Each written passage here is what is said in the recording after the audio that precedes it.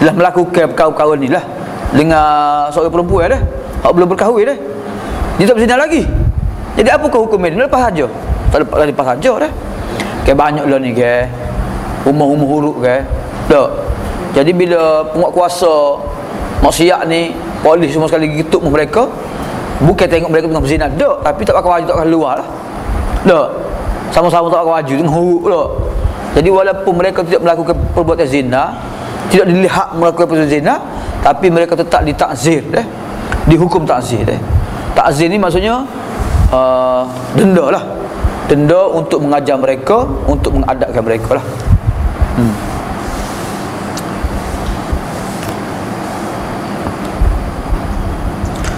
Thumma aitamma ta'dibuhu bima yarahul hakim al-muslim. Maksud dia nya hakim boleh mengadap, mengajar, menghukumnya dah. Sama nak nak pukul ke, nak buat daerah ke, habsin penjara ke dah. Habsin ke dia? Penjara dah, penjara. Min darbin pukul. Nafiin buat daerah. Habsin penjara. Taubih kata uduh dia dah. Ah, Ha, jadi hakim boleh melaksanakan hukum takzir kepada orang yang didapati melakukan maksiat walaupun tidak nampak dia tu berzina. Dia tak mengaku dia berzina pun. Dia kata geng-geng ni dia berzina apa dak dak. Ha, maka dikenakan juga hukum takzir dah. Kan? Hmm. Baru ni ustaz pergi ceramah di Sepita Topak. Sepita Topak lah. Dia kata ustaz lah ni ramai menar pelacur-pelacur sekolah, belum sekolah hendak. Belum sekolah menengok. Belum. Kadang-kadang dia nak beli telefon ya. Dia jual diri dia. Belum. Kadang-kadang tak ada apa pun. Kawan ni makan dia, bawa ke jalan cukup lah. Belum. Dia berzina. Hmm. Bahkan dia kata ada ustaz lu tiga orang dia kata hok jadi pelacur secara terhormat dia panggil. Macam mana? Hari Jumat hari kami dia pun naik naik bah pergi kalau lupa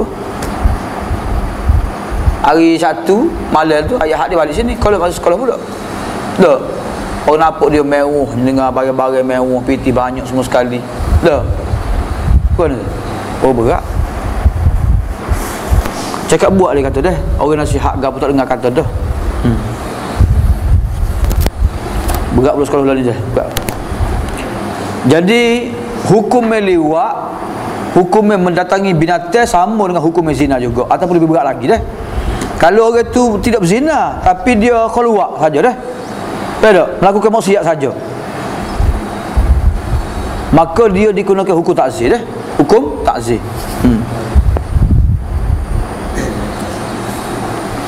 li'annahu fa'ala maksiatan la hadda fiha wala kafarata. Kerana dia telah melakukan perbuatan maksiat yang tidak ada hukum hudud padanya dia tidak ada hukum kifarat maka kena hukum, hukum takzir lah. Ha. tapi takzir tak boleh nak melebihi tak, tak boleh nak menyamai hukum hudud. Kalau hukum hudud 100 kali hotel tak boleh nak takzir 100 kali hotel tak boleh. Ha, nak takzir 80 hotel boleh. 70 hotel ke boleh. Tak. Tapi tak boleh siapa hak hukum hudud lah. Hmm wa huwa arba'una jaldatan iaitu 40 hotel untuk minum arak maksudnya tak hotel lebih daripada 40 kali lah. Sekat 40 ya sekat 39 kali ya tak? Hmm. Fayajibu an yang kusa minhu dan wajib nak kurang daripada hukumnya 40 hotel 39 hotel 35 hotel sahaja lah. Ha. Baik tu? Hmm. Okey, apa hukumnya? Apa hukumnya perbuatan lewat dengan mendatangi binatang? Eh? Bagaimana hukumnya? Azri. Sama dengan hukum? Hukum orang berzina juga, leh. Maksudnya lejam kalau orang tu berkahwin dah. Dia kata satu kali, kalau tu untuk orang yang belum belum berkahwin, eh? Okey, kalau orang tu dia dia berzina tapi dia luak. Dia dia melakukan perbuatan maksiat lah. Apa hukumnya dia? Yang perlu dilaksanakan kepada dia. Eh? Tak Takzir. Kalau dia takzir hakim. Takzir ni hukum denda yang dikenakan oleh hakim. Eh? Sama ada kena penjara ke, kena rotel ke, kena buat daerah ke. Tak. Tapi tak boleh lebih kalau sama dengan hukum hudud lah. Ha. Ha, baca lagi baca lagi. Caku. Hadul qadar ha. Wa qadar syahsu fa'alaihi hadul qadar hmm. Dia pertamanya hukum zina yang keduanya hukumnya tu hadap orang yang tuduh orang lain berzina leh. tuduh orang lain berzina ni pun kesalahan yang besar leh. sebab dia adalah menjatuhkan maruah orang tu menjatuhkan maruah keluarga dia kabilah dia leh. Allahu akbar leh. jadi tak boleh kita nak tuduh orang berzina kalau orang lain tuduh orang lain tu berzina kamu tak bawa bukti pak orang saksi maka dia pula dikenakan hukum qazaf dah ha wa idza qadhafa syakhsu ghairuhu bizina fa alaihi hadul qadhaf bila seseorang menuduh orang lain berzina maka dia dikenakan hukum qazaf hukum dia qazaf dah tapi hukum qazah ni dengan lapis syarat lah. Penuhi lapis syarat. Berapa syarat? Lapis syarat lah. Tiga syarat perlu ada kepada orang yang menuduh. Lah. Menuduh berzina. Iaitu an yakuna balighan aqilan wa an yakuna wa alla yakuna walidan maqdhuf. Yang pertama sekali dia ni balik. Yang kedua dia ni waras berakal. Yang ketiganya dia ni bukan ayah kepada orang yang dituduh. Kalau ayah tuduh anak berzina, maka ayah tidak dikenakan hukum qazaf hmm. lima syarat yang perlu ada kepada orang yang dituduh orang yang dituduh tu orang Islam kalau tuduh orang kafir berzina maka tak kena balik. Orang itu balik dah eh? kalau tuduh orang tak balik lagi berzina. Tak kena. Atau tuduh orang gila berzina. Tak kena juga. Dituduh tu orang yang merdeka.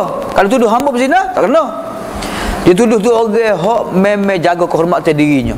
Kalau orang tu main-main haprak dah Memang hampir dah Look Look pergi golok. Tak minggu pergi golok. Pergi golok ni lah.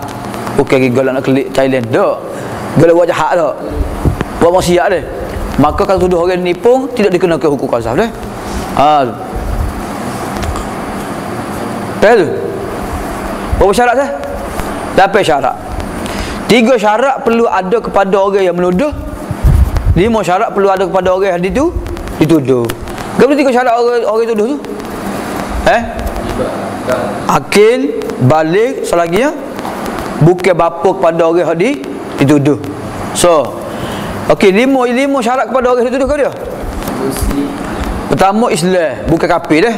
So, yang kedua balik, bukan kanak-kanak. Dua. Yang ketiga berakal, bukan gila. Yang keempat Merdeka bukan hamba. Yang kelima Orang yang menjaga kehormatan diri dah Bukan orang yang memang jahat dah lah Jadi ada lima cukup lima syarat ni Tuduh juga orang itu berzina Tak saksi Maka dia dikenakan hukum qazah Eh Berapa hukum qazah ni hakim? Eh? Wa yakunu haddul hurri samanina jaldah Hukum qazah untuk orang merdeka ni 80 kali gotek. Dekat dekat berzina lah. Zina 100, 80. Oh sikit lah. Ha, yang ni Wa yakunu dia adalah hukum hudud pada orang orang laki-laki hak merdeka tuduh orang lain berzina kena 80 gotek. Wal abdu arba'ina. Manakala kalau dia tu hamba 40 gotek. Berapa? 40 gotek hamba. Hmm. Okey bila Hazri gugur hukum hudud daripada orang yang tuduh saat ni? Bila? Eh?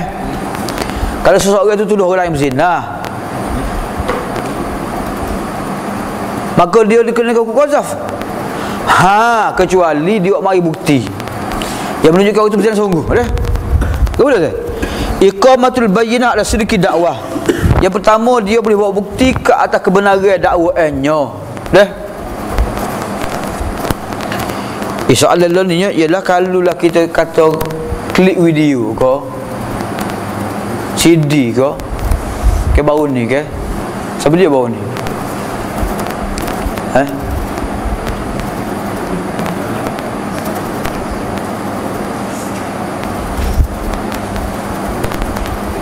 Ustaz Ustaz Azhar Ustaz Azhar so kena Ustaz Azhar lagi siapa dia eh Jadi soalannya boleh kau tidak video jadi jadi bukti pada berzina. Tak boleh ke tak? Eh? Tak boleh sebab orang boleh buat. Boleh adik eh? Ya. Hmm. Jadi klik video CD tak boleh jadi dalil kepada perbuatan zina deh. Kalau lepas saksi juga. Jadi hukum eh hukum qazaf itu akan gugur seorang apabila dia awak mari bukti benarnya dakwaannya deh ha. yang keduanya orang yang dituduh tu memaafkan tak apalah aku maafkan kamu deh yang ketiganya kalau orang itu tuduh isteri dia kamu dia berlaku li'an maka gugurlah hukumnya qazaf daripadanya deh ha. kalau macam dulu ni ke ha. boleh eh? Jadi dua lah berkenaan hukum hudud hari ni Pertama sekali hukum zina Yang keduanya tuduh orang yang berzina dah. Zaman Rasulullah berlaku ke tak? Berlaku Bila Abdullah bin Ubay dan sahabat-sahabat lain Menuduh Aisyah berzina Maka orang ni dikenakan hukumnya Qazaf dah Baik dah hmm. Wallahu alam Sallallahu ala Muhammad wa ala alihi wa barakatuh Ada soalan ke?